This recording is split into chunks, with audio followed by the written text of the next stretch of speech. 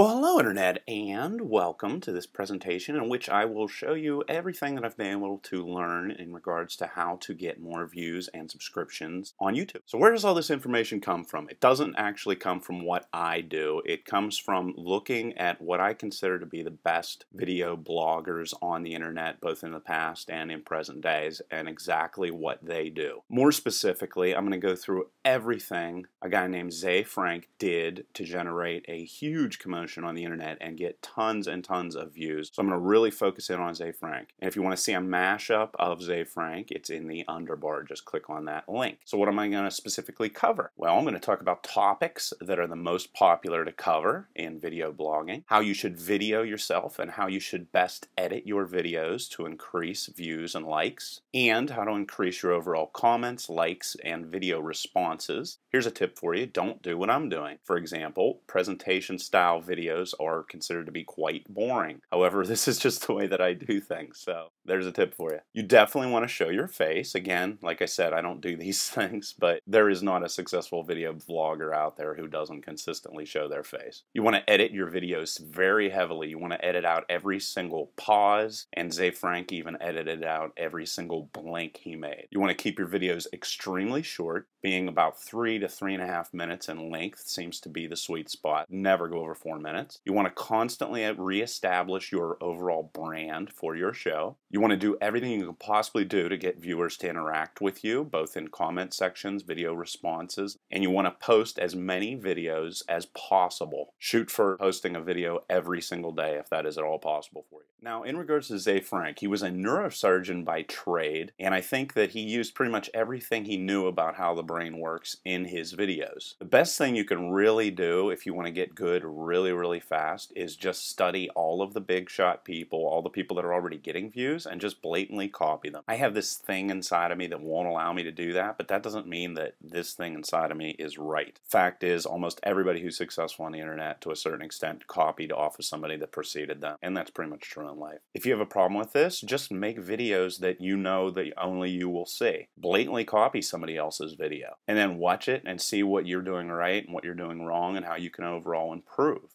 So make a script of exactly what they do in their video, exactly what they say in their video, maybe even special effects they use in their video, and then blatantly copy it, watch it, and then see what specifically you're doing wrong that makes your videos less funny than this almost exact video. This will help you really hone in on exactly what you're good at and what you need to improve on. Again, use a script. Most of the big time people do. If you don't know what to talk about, just look for the hottest news subjects and talk about them. And some places you can look are the Huffington Post, Yahoo, posts the most popular news articles of the day. Daily Mail is a London based website that posts a lot of really salacious and interesting topics. Oddly enough, there's a Reuters website that posts all kinds of funny stories. Then you have the Daily Beast, Technorati posts again most popular articles. And then, of course, you could look at Google Trends and Google Insight. Another thing that Ze Frank would often do is chase away or made it seem as if he was trying to chase away new viewers. For example, he would start off a video saying that he was going to go over common German phrases. What this does is it creates a general feeling that the viewers of the video are in a private club. And on a psychological level, this is extremely powerful. You want to then address all of your viewers as club members. He addressed all of the viewers of his videos as sports racers and established a brand which was a rubber duck and further reestablished that that brand by having viewers submit drawings of the sports racer logo or the rubber duck. Then what you want to do, or what he did, was establish the brand in a way that it represented the group, in a way that he was the leader. He often referred to himself as knowledge. Then he referred to sports racers, and then on top of that, his best converts or his best viewers or those people who were most willing to interact with him were called members of what he called the League of Awesomeness. You then want to use catchphrases such as here's a catchphrase he often used I've got the walnut, show me the baby. Again, watch the mashup and you'll get an idea of exactly some of the neat things he did. You want to involve the viewers in your show, so you could do things like show submitted art or pay reference to comments or any videos that the viewers had sent in to you. This is what I mean by how you should film your face. What you have to understand is most people are going to view these videos. I know this is kind of a nasty picture, but I just drew it real fast. See how the top of the head and the bottom of the chin are cut off? This is what is considered in general one of the best ways to film yourself in YouTube videos. And if you look at most of the big guys, this is roughly where their head angle is.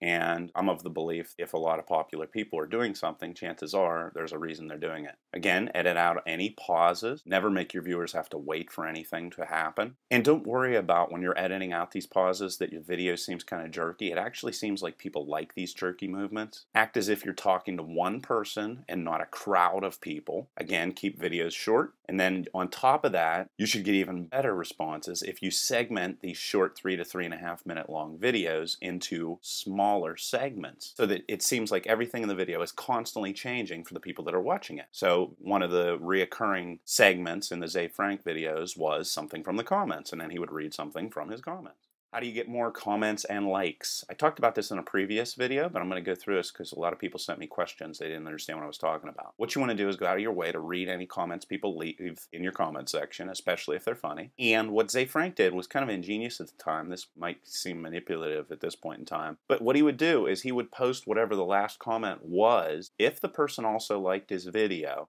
and here's a demonstration down here. Let's say that Jimmy, also Jimmy has no idea that it's 30 seconds till the show, but he posts last in the comment section and he's excited. Yay, I'm king of the comments. Okay, that's 30 seconds till the show. Well, Paul, wanting to be the king of the comment, goes into the comment section and posts again. Now it's 20 seconds till the show. And then Mark jumps in, trying to be the king of the comments, and posts five seconds before the show. Mark wins. Mark is the king of the comments. This was a Ze Frank thing that he did. And also, there was a queen of the comments. So, what this does, I think you can see very quickly, would generate an immense number of comments because people don't know when your show is going to start. How he was able to get a lot of video responses was to be a member of the League of Awesomeness. You were required to upload a video of yourself doing something goofy, which he called a power move. So, that was one way that he increased his video responses also, you could offer prizes to anybody that issues a video response. Free advertising. Say that you will post a link to their channel, for example, if they post a video response, or you will pick somebody at random and talk about their channel if they post a video response. Or you could do the obligatory question of the day, which is what a lot of people do. And of course, you want to reward people by showing any video responses in your video.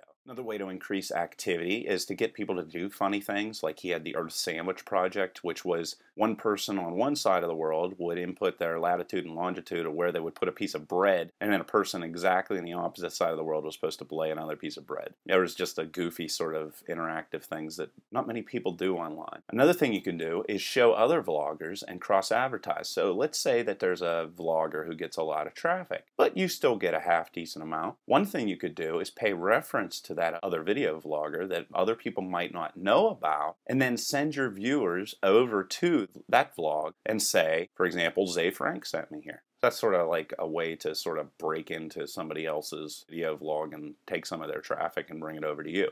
Also, you could allow viewers to control your show. Ze Frank had a system where, that he called Fabuloso Friday that uh, he would allow viewers to tell him exactly what he had to do every single Friday. Then he would build a show based off of what his subscribers wanted him to do. And again, in regards to content, you want to mix serious news and comedy back and forth, back and forth. People love change. Just a show all about news with no comedy is boring, and just a show all about comedy is might get kind of stale as well. But if you switch them back and forth, it gets kind of interesting. Take viewers on trips. I'd love to see what Australia or Africa or whatever looks like. Show people what your town looks like. It's interesting. It really is. Then again, you can create music videos. However, you wouldn't want to use copyrighted content because it would just get banned by YouTube eventually. And again, further ways to segment the show that would be effective would be to use a theme song or a funny name for a segment. And here are some Ze Frank show segments things I like that are gay and say the opposite and something in the comments, which I mentioned before. Again, you could attack people that the majority of people don't like. Another thing he would do that would be interesting and break up the show is he would show a picture and he would make up a story about it. Like, for example, shown here, President Bush pictured wishing he had a mustache. It was kind of just a funny, weird thing to do that helped break up the show. Could also talk about imaginary co-workers, and of course, you want to end your show with an interesting catchphrase. His was thinking so you don't have to.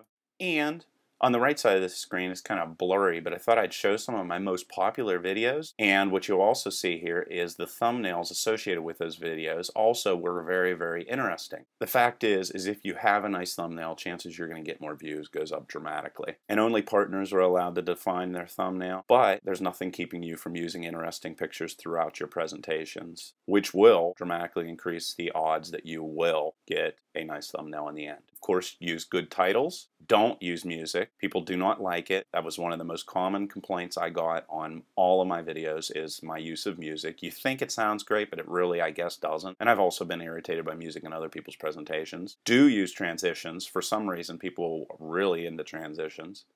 Use annotations to drive people to your channel as well as to subscribe to you and also to other videos that are common in interest to the current video you're filming. Put all of your videos that have anything to do with each other into playlists so the odds are better that somebody's going to continue watching other videos that you have made on subjects that are similar to the current video. And also watch what everybody else is watching and see what's good about it. List down on a piece of paper, why did I like this video? And then try to incorporate those into your videos. And then basically the end is just practice, practice, practice, and like doing what you're doing. That's the only way you're ever going to make a lot of videos so that's pretty much everything I know about how to increase your overall traffic on your videos. Again, I don't do a lot of these things just because I can't really copy. It's something that's like inside of me. If you have any other questions or comments, leave them below and I will do my best to answer them. Otherwise, till next time.